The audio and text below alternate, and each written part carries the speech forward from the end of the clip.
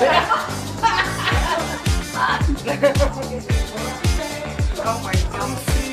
promise to also teach you to say sorry.